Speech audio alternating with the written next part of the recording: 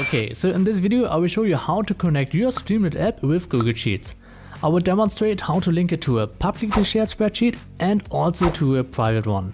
Let me actually give you a quick example of why this could be useful. Let's say you are working on a small project. Often such projects involve a database where you store and retrieve data. Instead of setting up a full-blown database, you could use Google Sheets.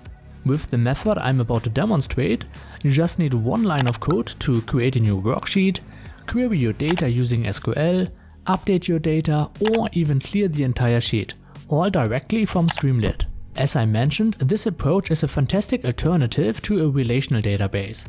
And with that said, let's dive in. To get started, head over to the following GitHub repo. I will also provide the link in the description below. First things first, you need to install the package. To do this, copy the following link to your clipboard, navigate to your terminal or command prompt, paste the command and execute it. With that in place, let's kick off with a basic example. In this scenario, we will connect Streamlit to a publicly shared spreadsheet, meaning you will have read-only access. All you have to do is to copy this example and paste it into a new Python file. I've named mine streamlit underscore app.py. I will open it up using VS Code and paste the content there. After saving it, I will run the app using the command streamlit run and the name of the Python file. Once the app is live, it will display a data frame. Now I will position my app and my text editor side by side so that I can explain the code.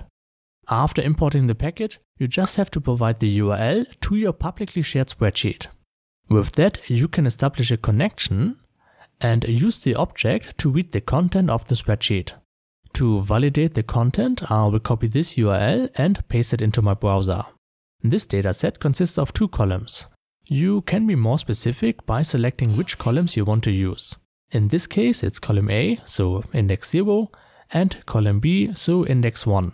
A quick tip here, you can also specify columns using a list and setting the range. If I save the script and refresh my page, you will notice we get the same result. One challenge I encountered was specifying the sheet name. And there's a parameter named worksheet. If you input the sheet name, like example1 in my case, save the script and refresh the app, you will get an error. This is because you can only use the name when connecting to a private sheet, which I will demonstrate shortly. For publicly shared sheets, you should use the worksheet ID found in the URL. Simply copy everything after the GID and input those numbers as the worksheet parameter. When I save the script and reload the app, we see that it works. Obviously, you can repeat the process also for the other sheets. Just select the desired sheet, copy the ID from the URL, and adjust your code. When I refresh the page now, we can view the data from the second sheet. As I mentioned earlier, the entire code functions because I'm using a publicly shared spreadsheet. For the rest of this video, uh, I will be using a different spreadsheet. The structure of this spreadsheet is like a typical database, where each sheet could be like a table in a relational database. I've included sheets for products, sales, and customer information. To use this data in my Streamlit app, you will first need to share the spreadsheet and set its access to anyone with the link. Once done, copy that link and integrate it into your code.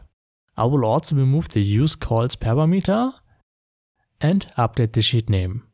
With that in place, I will save my code and refresh my app. Now we can see the product information as a pandas data frame.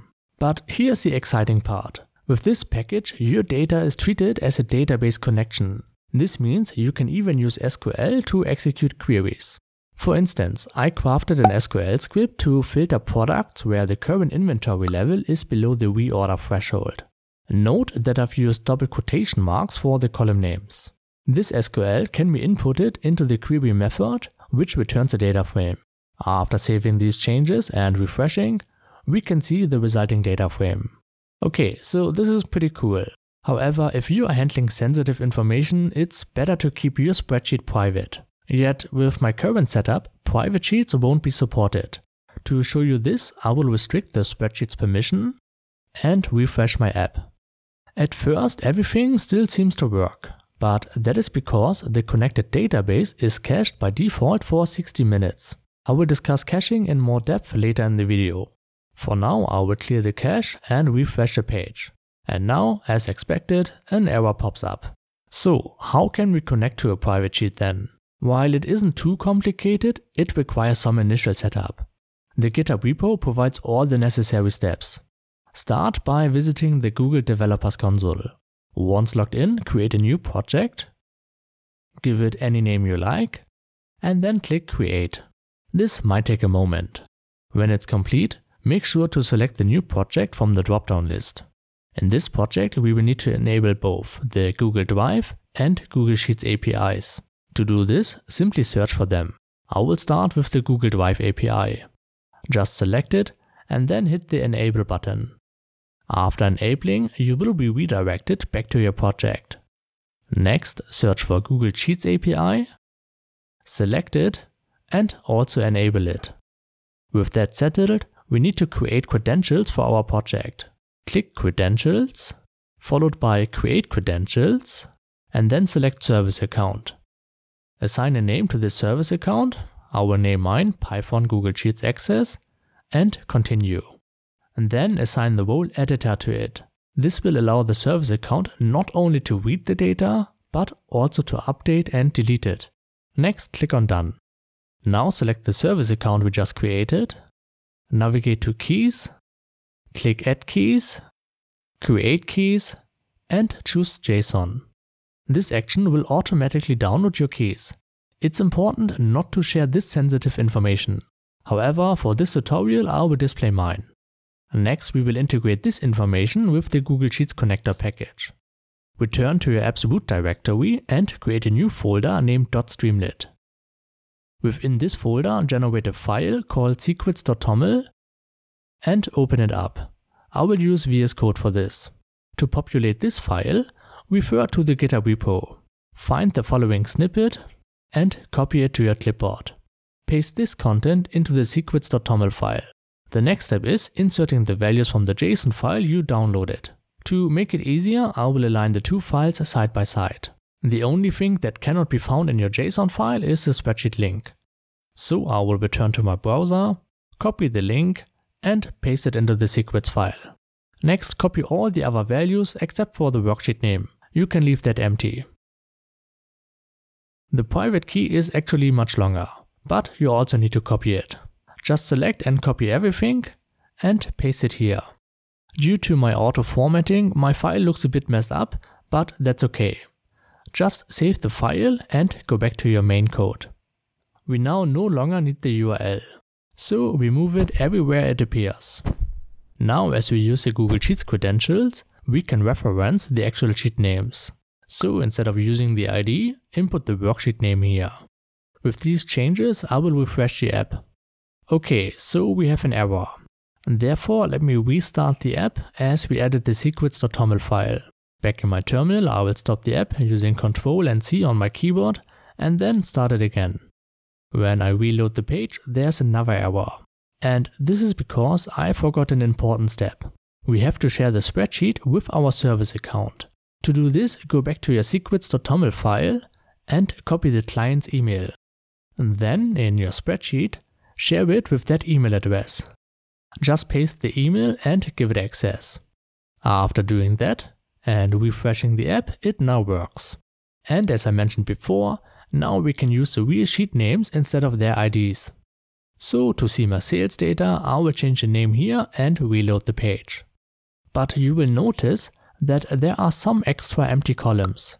To fix this, I will use the first 5 columns with the usecols parameter.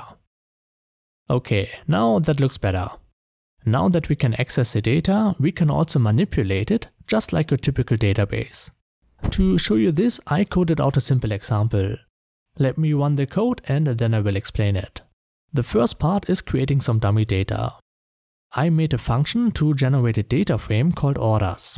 And then I made another data frame that's like the orders, but with one change. I multiplied the total price by 100. And then I'm showing both data frames using the expander. When I open it, we see our orders data and the updated orders, so with the new price column. Okay, and here's the kicker. Just like a typical database, we can now manipulate our Google Sheets data. So let me place our spreadsheet next to the app. As before, I simply create the connection. With this connection, we can create a new sheet, query the data, update the data and clear the entire sheet. To do that, I have created different buttons. To generate a new sheet, you just need to take the connection object and use the create method. You can then specify the name of the sheet and the data you want to insert into this new sheet. In my case, I will insert our orders data. So, when I click this button, we will have a new tab in our spreadsheet. When I select it, we can see our orders data. And, just like before, we can also query this new data using SQL and the query method. For example, I will calculate the total price. In the resulting data frame, I can now see the sum, which is 1000. Next, I want to update this data. I will use the connection object again, but this time I will use the update method, specify the sheet name and provide the new data. Now the total price sum is 100,000. But if I rerun our SQL query, you will see that we still get 1000 back.